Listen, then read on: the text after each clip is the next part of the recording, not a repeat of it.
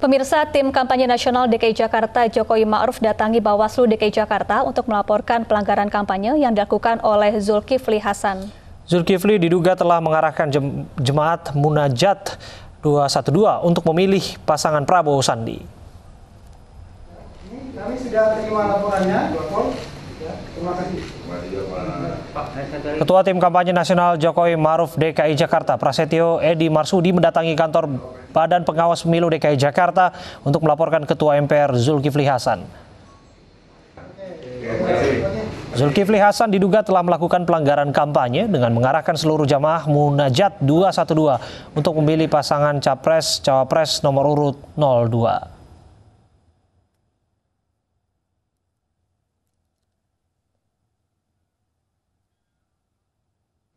Melaporkan ada satu kejadian yang mana tujuannya baik yaitu acara di Monas tanggal 212 tahun 2019 diperkirakan jam 20.00 sampai 23.00 ada seorang pejabat tinggi negara ini.